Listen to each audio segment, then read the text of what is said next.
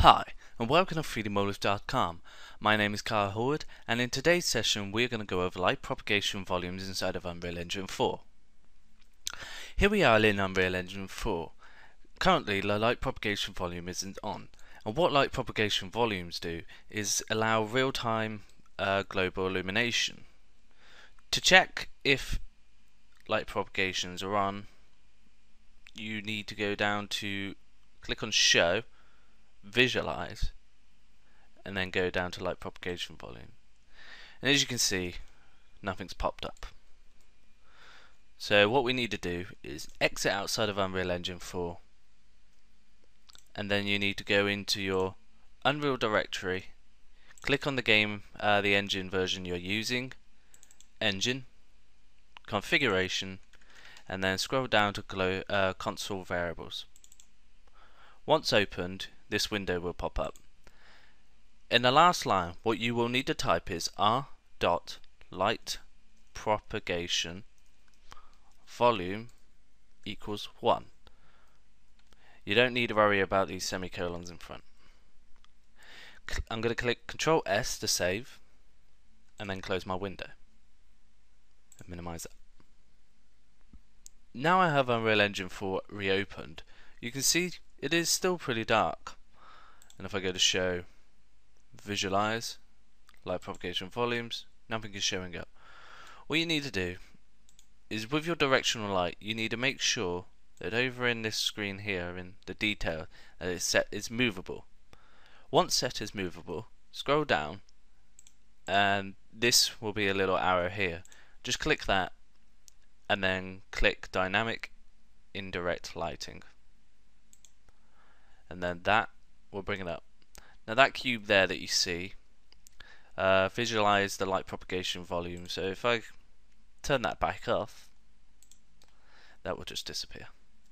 There are a load of options that you can do to set off light propagation volumes. Um, as you can see, the light is bouncing. With this bo uh, blue box, we have a blue light hitting the back of this bench. This green box we have a green light and then the red box we have a red light bouncing. There are settings in the details panels which you can change like indirect lighting. If you set that to zero that's going to turn the light propagation back off. Now if you change that to 2 you see it's going to get a bit more intense and just to exaggerate 10 it's pretty blinding so if I change that back to 1, and I scroll down here, you also have something called Cascade Shadow Maps.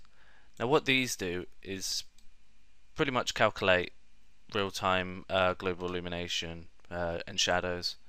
So if you change them, uh, the shadowing, it changes the distance. So as I zoom out, they go. As I zoom in, they come back. Let's set that back as default. And uh, again here, number of dynamic shadows will basically strengthen it or not. And as you can see, there is just a load of settings you can play around with to get the required look that you're trying to get. Another good thing is that inside of your post-processing volumes if you have one of them, underneath light propagation volume, you can also change any of these settings. Here we can change the intensity again of the actual light, change that to zero, and then it will turn off. I'm going to just leave that at one at the moment. Just give it time to calm down. And then with size, again, you've got how much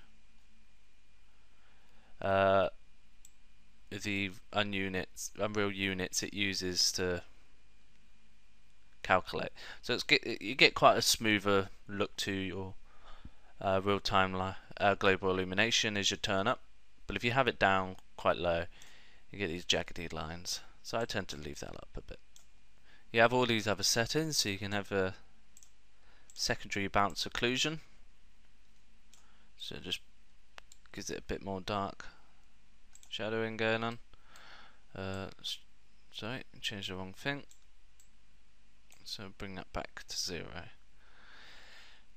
And then the light bounce here, if I had that at one, and then you change that, you can just see this slight change in the bounce light, just down there. I'll scroll in a bit more. As you can see, it changes the bounce line, so you get more of it. And that's how you set up light propagation volumes inside of Unreal Engine 4. My name is Kyle, and thank you for watching 3dmotive.com.